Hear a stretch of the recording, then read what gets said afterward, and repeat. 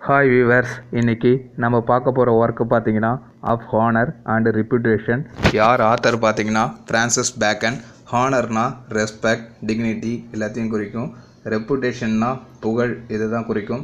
Okay viewers இப்போ நம்ம details summary பார்க்கலாம். இங்கே ஃப்ரான்சிஸ் பேக்கன் என்ன சொல்கிறாருன்னா ஒரு மனிதன் எப்படி ஹானராக இருப்பான் அதாவது ஹானர் அப்படிங்கிற விஷயம் எப்படி அடைவான்னு பார்த்தீங்கன்னா ஒரு மனிதன் பார்த்திங்கன்னா தனக்குள்ள சில நற்குணங்களும் அது மட்டும் இல்லாமல் பார்த்தீங்கன்னா ஒர்த்தாகவும் இருக்கணும். ஒர்த்துனா எதிரி கண்ட்ரிகள் ஒரு கிங்கு ஒரு கிங்குன்னு எடுத்துட்டோன்னா எதிரி கண்ட்ரியில் இருக்கிற எனிமியை அட்டாக் பண்ணி தன்னோட கண்ட்ரியை பாதுகாப்பாக வச்சுக்கணும். அவன் தான் ஒர்த்தான பீப்புள் ஸோ அவனை மாதிரி தான் ஹானர் அந்த மாதிரி ஆட்கள் தான் அந்த மாதிரி கிங்கு தான் ஹானர் அப்படிங்கிற விஷயம் ரெஸ்பெக்ட் அப்படிங்கிற விஷயத்த பெற முடியும் அப்படிங்கிற மாதிரி சொல்கிறாரு ஹானர் அப்படிங்கிற விஷயத்த அடைய முடியும்.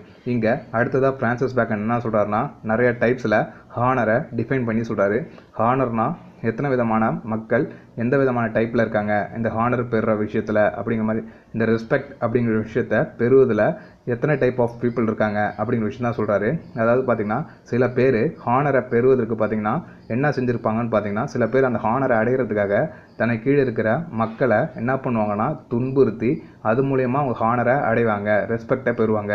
ஆனால் அந்த மக்கள் மத்தியில் இவர் புகழ மாட்டாங்க. ஆனால் உள்ளுக்குள்ளே பார்த்தீங்கன்னா திட்டிக்கிட்டு இருப்பாங்க. வெளிப்படையாக பார்த்தா புகழ்கிற மாதிரி தான் தெரியும் அந்த கிங்கை ஆனால் உள்ளார திட்டுவாங்க. ஸோ இந்த மாதிரி சம் டைப்ஸ் ஆஃப் பீப்புள் இருக்காங்க. தந்த ஹானர் அப்படிங்கிற விஷயத்த பெறுவதற்கு. அடுத்து சில டைப் பீப்புள் இருக்காங்க. இந்த பீப்புளெலாம் பார்த்தீங்கன்னா இந்த ஹானர் அப்படிங்கிற விஷயத்த அந்த ஹானர் அப்படிங்கிற ஒரு ரெஸ்பெக்ட் அப்படிங்கிற விஷயத்தை அடையிறதுக்காக தனக்குள்ளே இருக்கிற சில நற்குணங்களை எல்லாத்தையும் மறைச்சிருவாங்க. மறைக்கிறதுனால அந்த மாதிரி பீப்புள் எல்லாம் மனிதர்கள் என்ன பண்ணுவாங்கன்னா அண்டர் வேல்யூ பண்ணுவாங்க. அதனால பார்த்தீங்கன்னா அவங்கள மதிக்க மாட்டாங்க. ஸோ நல்ல அந்த ஹானர் அப்படிங்கிற மரியாதை பெறுவதற்காக பார்த்தீங்கன்னா தனக்குள்ள இந்த நல்ல விஷயத்தை எல்லாத்தையுமே பார்த்தீங்கன்னா மறந்துட்டு அவங்க சில தீய செயலில் செய்வாங்க. அதனால் அந்த மாதிரி மக்களெல்லாம் பார்த்தீங்கன்னா அந்த மாதிரி கிங்காக இருந்தாலும் சரி அந்த மாதிரி பீப்புளெல்லாம் எல்லாம் சாதாரண மக்கள் மதிக்க மாட்டாங்க. அண்டர் வேல்யூ பண்ணுவாங்க அப்படிங்கிற ஒரு டைப்பும் இருக்குது அடுத்ததாக பார்த்தீங்கன்னா ஏதாவது ஒரு விஷயத்தை ஹானர் இன்னொரு விதத்தில் டிஃபைன் பண்ணுறாரு அதாவது பார்த்தீங்கன்னா இப்போ யாராவது ஒரு விஷயத்தை செய்ய முடியாமல் இருந்துச்சுன்னா ஏதோ ஒரு திங்ஸை பெற்றுடு அது திரும்பி அதை வாங்கிட்டு வர முடியாமல் இருந்துச்சுன்னா இன்னும் சொல்ல போனால் அட்வென்ச்சர்ஸ் அப்படிங்கிற விஷயம் அது சாதிக்கிறது ஏதோ ஒரு விஷயம் சாதிக்க முடியாமல் இருந்துச்சுன்னா அந்த விஷயத்தை சாதிக்கும் போது நமக்கு ஹானர் அப்படிங்கிற விஷயம் அடைய முடியும் அப்படிங்கிற மாதிரி ஃப்ரான்சிஸ் பேக்கன் சொல்கிறாரு இன்னொரு விதமாக சொல்கிறாரு எப்படின்னா இந்த இப்போ யாராவது ஒரு ஒரு மேன் ஒரு கிங் எடுத்துக்கிட்டோம்னா அந்த கிங்கு கீழே இருக்கிற சாதாரண காமன் பீப்புளுக்கெல்லாம் அவங்களுக்கு தேவையான விஷயத்தெல்லாம் பூர்த்தி செஞ்சாலே போதும். அங்கே பூர்த்தி செய்யும் போது அந்த மக்கள்லாம் நம்ம கிங்கை புகழ்வாங்க. நிறைய புகழ்வாங்க. அந்த புகழ்ச்சி மூலிமா அவருக்கு ஹானர் வந்து சேரும் அப்படிங்கிற மாதிரி சொல்கிறாரு இப்படி ஹானர்ஸை டைப்ஸாக பிரிக்கிறாங்க. அடுத்தது என்ன சொல்கிறாருன்னா ஃபேம் அண்டு என்மி அப்படிங்கிற மாதிரி சொல்கிறாரு அடுத்த டாபிக் ஃபேம்னா புகழ் என்மினா ஜெலிசியஸ் அப்படின்னு சொல்லலாம் பொறாமன்னு சொல்லலாம். இந்த இடத்துல ஃபேம் அப்படிங்கிறதுக்கு என்ன சொல்கிறாருன்னா ஒரு மனிதன் ஒரு கிங் எடுத்துக்கலாம். அந்த கிங் என்ன பண்ணுறாருனா ஒரு பேட்டில் கிரவுண்ட் அதாவது போர்க்காலத்துக்கு போகும்போது அந்த போர்க்காலத்தில் வெற்றி பெற்றார்னா அவருக்கு ஹானர் அப்படிங்கிற விஷயம் கிடைக்கும் ரெஸ்பெக்ட் அப்படிங்கிற விஷயம் கிடைக்கும் மக்கள் மத்தியில். அதுவே அந்த போர்க்காலத்தை தோத்துட்டார்னா ஷேம் அதாவது பார்த்தீங்கன்னா அவமானம் தான் ஏற்படும் அப்படிங்கிறாரு. ஸோ ஆக மொத்தத்தில் இங்கே புகழை பற்றி என்ன சொல்கிறாருன்னா இங்கே ஃபைலியர் அப்படிங்கிறத பற்றி சொல்ல வர்றாரு நம்மளுக்கு. ஒரு விஷயம் நம்ம மாறலாக சொல்ல சொல்ல வர்றார் பிரான்சிஸ் பக்கன் அதாவது என்ன மாற சொல்ல வர்றாருன்னா இங்கே தோல்வி அப்படிங்கிறது பெரிய அசிங்கம் கிடையாது. ஆனால் போர்க்களத்துக்கு போகாமலே இருக்கிறது தான் பெரிய அசிங்கம் அப்படிங்கிற மாதிரி ஃப்ரான்சிஸ் பேக்கன் இந்த ஃபேம் அண்டு என்பியில் சொல்கிறாரு பொறாமையில் புகழ் அண்டு பொறாமை டாப்பிக்கில் சொல்கிறாரு அது மட்டும் இல்லாமல் இந்த ஷேம் அண்டு ஃபேம் அதாவது இந்த அசிங்கம் இந்த புகழ் இது ரெண்டுத்தை பற்றி என்ன சொல்கிறாருன்னா ஒரு வெட்டப்பட்ட ஒரு டைமண்டோட பிரதிபலனாக தான் இருக்குது அப்படின்னு சொல்கிறாங்க ஒரு வெட்டப்பட்ட இப்போ ஷோரூமில் இருக்கும்ல டைமண்ட்ஸ் கட் பண்ணி அழகாக ஷோரூமில் திரும்ப அந்த ரெண்டு பக்கத்தோட பிரதிபலிப்பாக தான் இருக்குது டைமண்டோட ரெண்டு சைடோட பிரதிபலிப்பாக தான் இருக்குது இந்த ஷேம் அண்டு ஃபேம் அப்படிங்கிற மாதிரி சொல்ல புகழும் சரி அந்த அசிங்கமும் சரி ரெண்டுமே ஒரு டைமண்டோட வெட்டப்பட்ட டைமண்டோட ஒரு பிரதிபலிப்பாக தான் இருக்குது அப்படிங்கிற மாதிரி சொல்கிறாரு அடுத்தது என்வி பொறாமையை பற்றி சொல்கிறாரு நம்ம பார்த்த ஃப்ரான்சிஸ் பேக்கன் என்ன பொறாமையை பற்றி சொல்கிறாரு பார்த்தீங்கன்னா இந்த என்வி அந்த பொறாமை தான் பார்த்தீங்கன்னா ஒரு ஹானரோட எனிமையாக இருக்கும் அப்படின்னு சொல்கிறாரு அதாவது பார்த்தீங்கன்னா என்விங்கிறது பார்த்தீங்கன்னா பொறாமை இந்த இடத்துல. இப்போ ஒரு கிங் எடுத்துக்கிறோம் ஒரு கண்ட்ரியோட கிங்க்கு அந்த கிங் என்ன பண்ணுறாரு பண்ணுறாருன்னா தன்னோட கண்ட்ரியை காப்பாற்றுறது நல்லா வெல்த்தியாக வச்சுருக்காரு. இன்னும் தெளிவாக சொன்னால் ஒரு கண்ட்ரியில் ஒரு கிங் இருக்கார். அந்த கிங் பார்த்தீங்கன்னா தன்னோட கண்ட்ரியை நல்லா வெல்த்தாக ஆரோக்கியமாக வச்சுக்கிறாரு நல்லா வெல்ஃபராக எப்பயுமே போ அந்த கண்ட்ரியாக டிஃபெண்ட் பண்ணி வாழ்ந்துட்டுருக்காரு.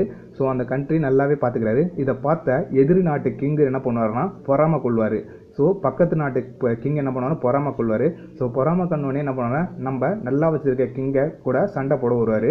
ஸோ இந்த கிங்கு கூட சண்டை போட்டு நான் இங்கே இருக்கிற திங்ஸ் எல்லாத்தையும் திருடிட்டு போகலாம் அப்படின்னு நினைப்பார்.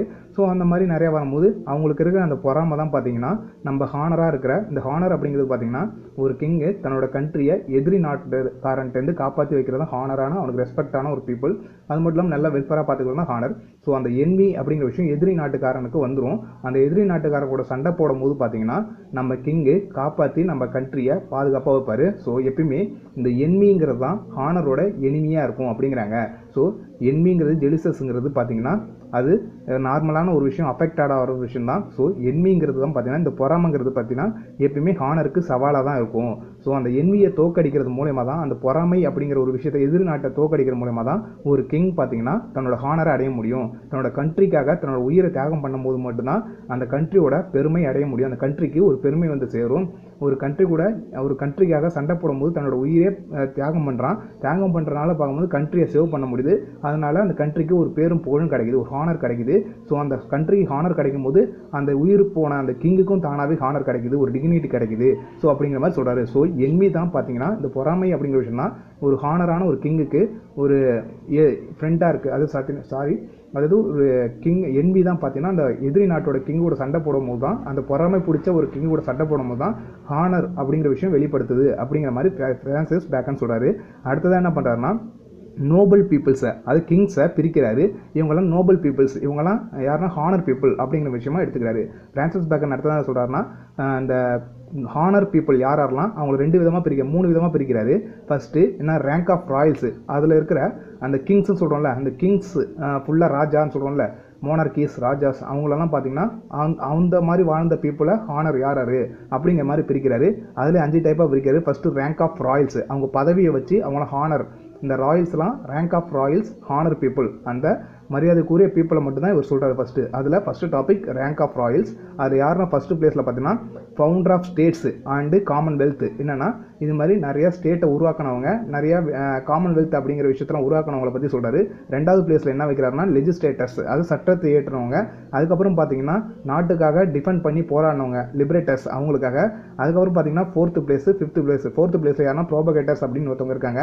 அடுத்து ஃபிஃப்த்து பிளேஸில் பார்த்தீங்கன்னா ஜஸ்ட் ரூலர்ஸ் அந்த நாட்டை ஆண்ட ரூலர்ஸை பற்றி சொல்கிறான் இதெல்லாம் rank of royals noble people இவங்கெல்லாம் பார்த்தீங்கன்னா ஹானர் பீப்புள் அப்படிங்கிற மாதிரி ரேங்க் ஆஃப் ராயல்ஸில் ஒரு டிகிரி அவங்களோட ரேங்க் கிங்கை பற்றி தான் பெரிய பெரிய பொசிஷனில் இருக்கிற நோபல் பீப்புளை பற்றி சொல்கிறாரு அது ஹானர் பீப்புளை பற்றி சொல்கிறாரு அடுத்தது ரேங்க் ஆஃப் சப்ஜெக்ட் அப்படிங்கிற சப்ஜெக்ட்டுங்கிறது பார்த்தீங்கன்னா இப்போ ரேங்க் ஆஃப் ராயல்ஸ் பிரிச்சாங்களே ஹானர் பீப்புளில் ரேங்க் ஆஃப் ராயல்ஸ் இவங்க இருக்காங்க.